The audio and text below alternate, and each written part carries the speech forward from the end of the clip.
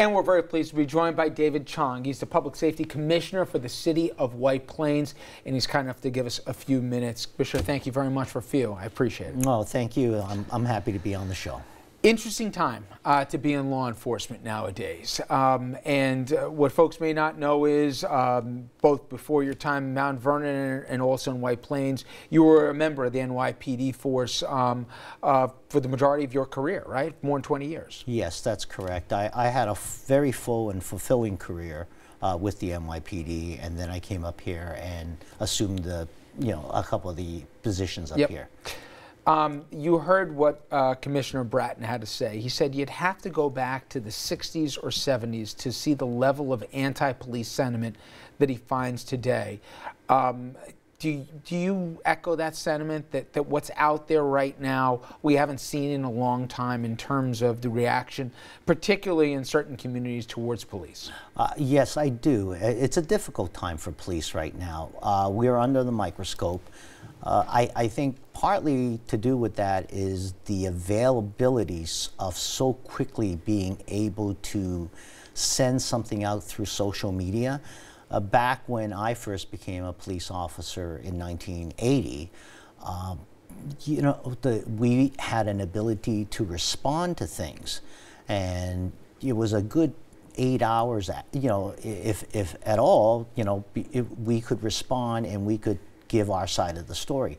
Right now, it's very difficult with mass media. People can doctor things, they can send things out, they can send things out through different channels, and a lot of times people get carried away and they get caught up in the emotions and don't allow us to explain ourselves or our actions. Um, I put it into context, and I don't expect you, nor can you, I guess, talk about these cases because there's, in some cases, ongoing litigation around it. But high profile cases, whether it be the Ridley or the Chamberlain case, would they have to be handled differently now in the immediate after? And I ask that because we saw how in Baltimore the situation was handled. We even saw recently in Wisconsin when the district attorney came out and before he read that there was no indictment, he gave the minute by minute um, explanation of what they believe happened in the run up to that uh, fatal shooting. Um, and literally um, brought you into that stairwell to explain why he didn't, and then did a plea for peace invoking Dr. King. It seems as if there's almost a plea for calm right now uh, when explaining actions. Would you have had to handle things differently? I know you weren't there in both cases at the time, but in high profile cases, if they happened in your particular community now? Uh, I believe that uh, now, in today's day of age, uh, transparency is really, really important, and you really have to get in front of the story before people start to imagine things or think things.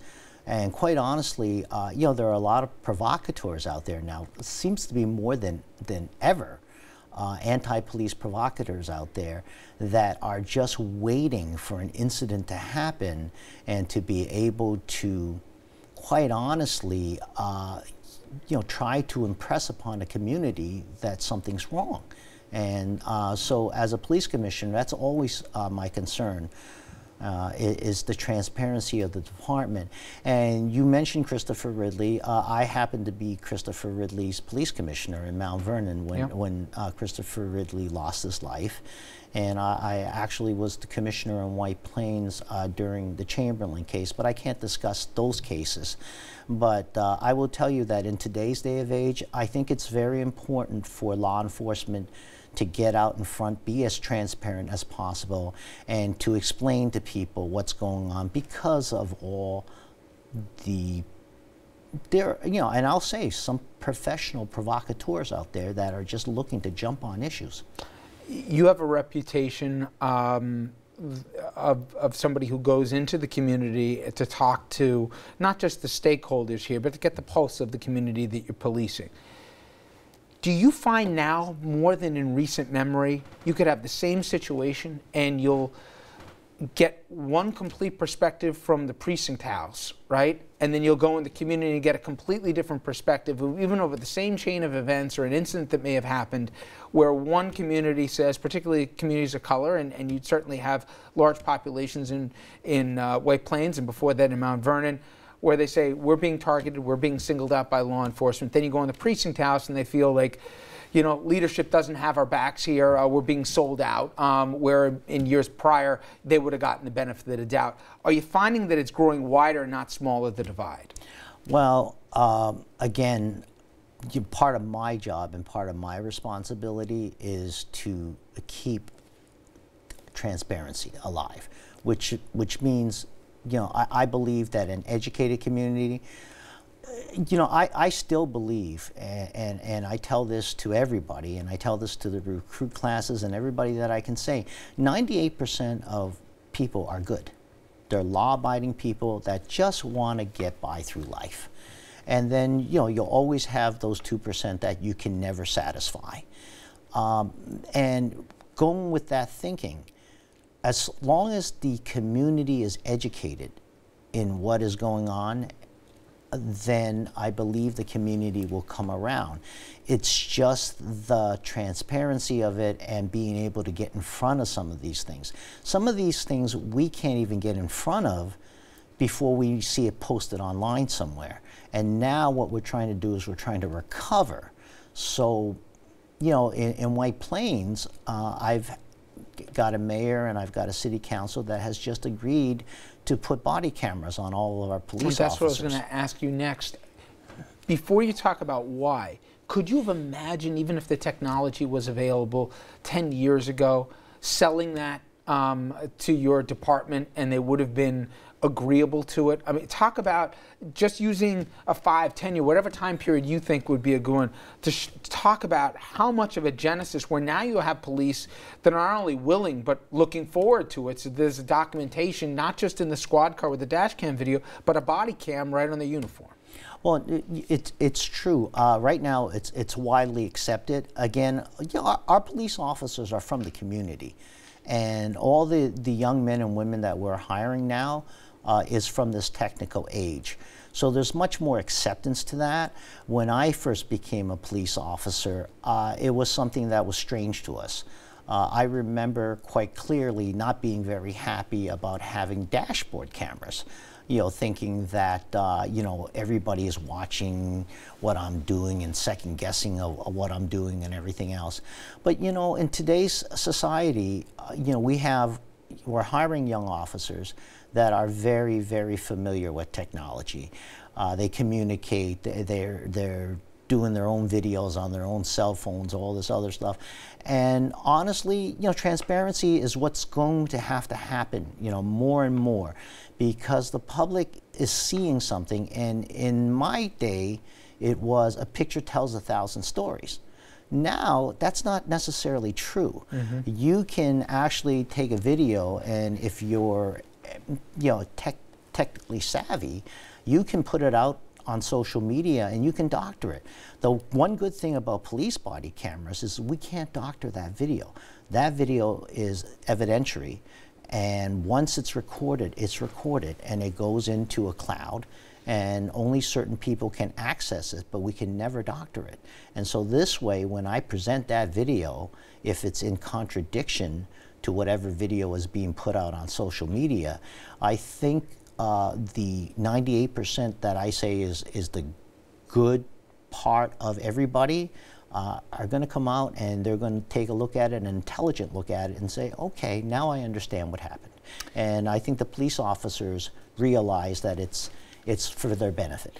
You made a couple of interesting points. Um, uh, do them one at a time. You made the point of the 98% rule, and I, have heard different variations of that.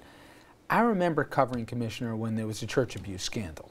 And my church, the Catholic Church, uh, were so pervasive. And in 98%, or whatever the right number is, of the priests were good and decent, but as a profession, they were brought down by the actions of the few who did such horrific things and were aided or embedded or covered up for their actions by, by leadership. Is there a risk? The perception of the public, especially some of those same communities, is the bad apples are always either protected or the blue wall of silence goes up, making it really hard to bring justice here. And because the bad apples aren't rooted out, the entire profession of law enforcement gets a black eye as a consequence of it. people don't believe that police are held to the same standard or have to bear the same rules after a questionable incident. They have a longer window of time before they have to go and deliver a statement to the police here. Uh, the cooperation sometimes from law enforcement, uh, I'm not saying in your communities, but in other communities, hasn't been, uh, let's just say, transparent, as you mentioned. Speak to that. Ha have is that blue wall of silence, how pervasive is it and how hard is it to break through it so the public can have faith that everybody gets the same justice? Well, I, will tell you, um, you know, the, the blue wall of silence has been something that's been mentioned, I believe, since policing has first started. Um, you know, policing themselves, you know, uh, officers tend to socialize with each other, tend to be their own kind of community, tend to think that, uh, you know, only they can understand what officers have to be faced with. You, there, there are approximately 900,000 police uh, or sworn law enforcement officers across the United States. The engagements of sworn law enforcement officers on a daily basis is tremendous. Uh, you know, do we get a bad apple once in a while? Do we get someone who shouldn't be a police officer once in a while? Of course. With those kind of numbers, it does happen. But if you think about the engagements, the number of engagements of law enforcement all over this country every 24 hours, and then you think about the one or two or three or four or even five incidents that raises the cackles of people, it really is a relatively small percentage. And I will tell you that I feel we're held to a higher standard. I know that I hold my police officers to a higher standard. And because they're sworn police officers and because they possess so much power, I often tell them that they are the closest representation of government that people actually see. And you know, part of that is, is that you know nowadays police officers are called for everything. We are society's problem solvers. And we're called from anything from a raccoon in a garage to somebody with psychological problems that are terrorizing their family. And you know, officers have to act appropriately. And it's a minute by minute, sometimes second by second decision mm -hmm. on mm-hmm. what the officers have to do. And you mentioned before, you have um, obviously tried to have officers that are part of their community. It's been said in other areas in this country that the police force is not reflective. Take Ferguson, for example, a population nearly three quarters African American, yet the police force more than 80 some odd percent white. Should there be, um, if not quotas, some kind of uh, formula that the police force is reflective of the community they're policing uh, by ethnicity or color? Uh, and to that end, should you have certain geography requirements where if the people live in the community that they police, uh, they probably have a better idea and are more involved um, with those people rather than somebody will parachute in and out uh, when their shift is on? Mm -hmm. Well, I'll tell you, you know, there, there's this. This is a debate that has been going on since I got into law enforcement. Um, you know, when I first became a, a, an officer, uh, there were very few Asians on the New York City Police Department. New York City Police Department, largest police department in the country, and there were very few Asians. Uh, you know, at, from a managerial standpoint, I want the very best candidate. I want the person that is going to be the very best police officer, and I have to kind of be colorblind. But I also understand uh, that we want people that have grown up in the community, that know the community, that are a reflection of the community, reflection of their culture, reflection of their religion, reflection, you know, went to school with, you know, so it's a fine balance again. Because, you know, what, one of the things that I feel is that we have to get more people because we're under civil service law. We're, we're under requirements to test people and have people, you know, we just can't go out there and say, oh, you know, I like you but because of the way you look, you know, will you become a police officer? What we have to do is, you know, these folks have to, you know, we have to reach out to the community, get the very best, have them take the exam, have them qualified, and absolutely, I, I am very big into changing uh, a police department and making it very reflective of the community that they serve. Uh, do we want officers to live in our community? We absolutely do. But again, there are certain, you know, there, there are certain standards. You know, officers. I, I know that um, when I was a young New York City police officer, you know, I came from New York City. Uh, I lived at home with mom and dad. But for me to actually go out and be able to afford to yep. buy a home in New York City on a police officer's salary was very difficult for me. I would have loved to live in the city. Uh, but I ended up moving out to the suburbs uh, and commuting into the city because it, I was following the American dream of mm -hmm. having a house and owning sure. a house.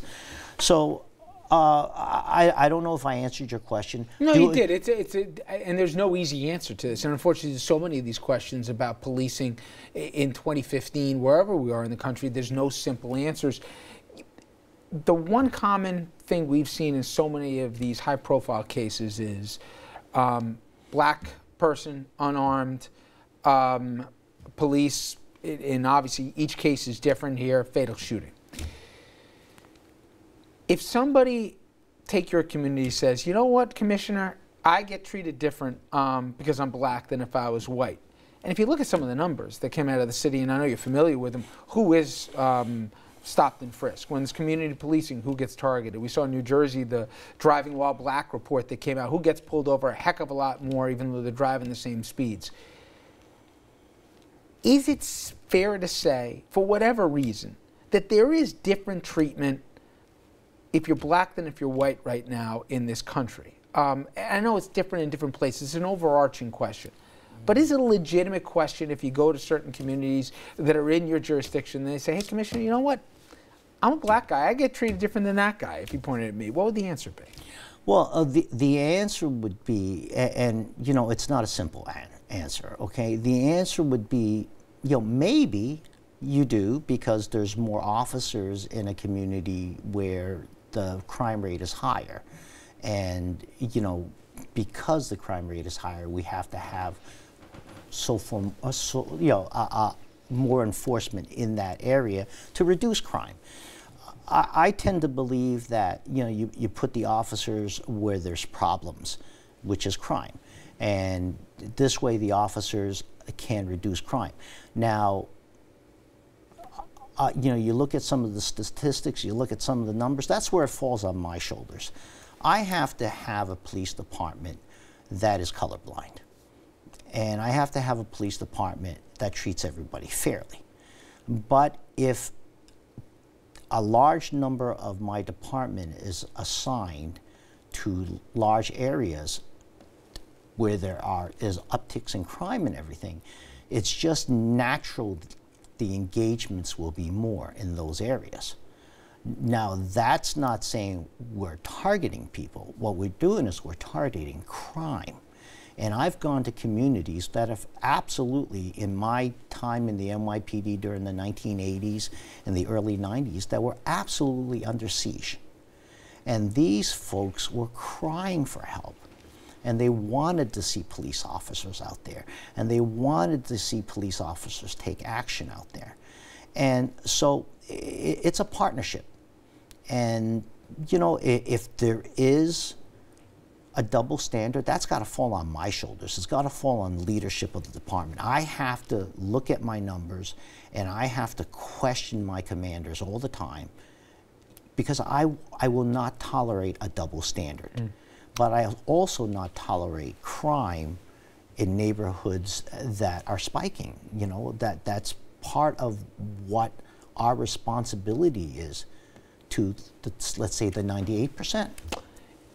It's just finally a sense, Commissioner, that as much as any recent time here, uh, and I, I, know if we go back to the 60s and 70s, um, and the data will prove it, it was a much more violent time and everything else, but it seems, whether it's new technology or the, the climate that we're in right now, given the high profile, just a little flicker could set off a, a major fire in terms of the tensions in, in so many cities in this country, um, and even in rural communities as well, let alone suburban.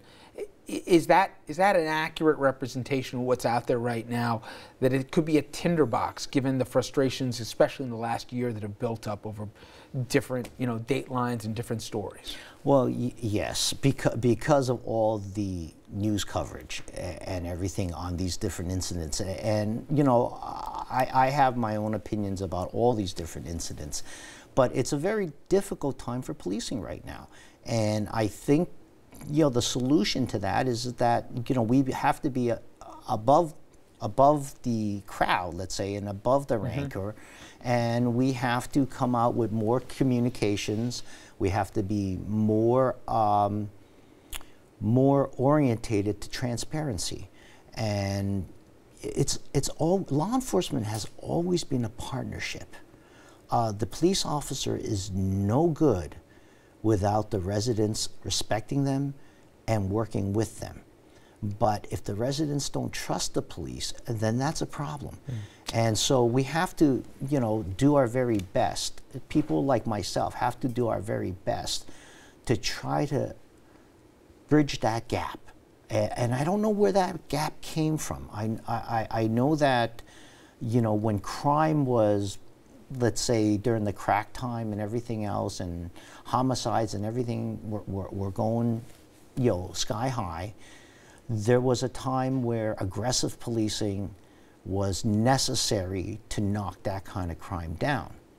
But I think right now, with crime being knocked down so much, it's just basically preserving it, but also now, again, scaling back a little bit on, on the aggressive tactics. Yep. And going back out and reaching out and touching the community and letting the community know that we are them. We're one. You know, we're not separate, we're, we're one. Well, certainly challenge you, but I definitely appreciate you giving us some time and some insight today. Commissioner, thank you so much. Thank you, Richard. It's always a pleasure.